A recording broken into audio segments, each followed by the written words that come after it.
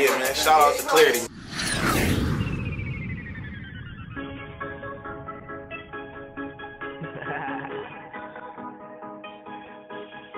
Young Chief, nigga. Uh.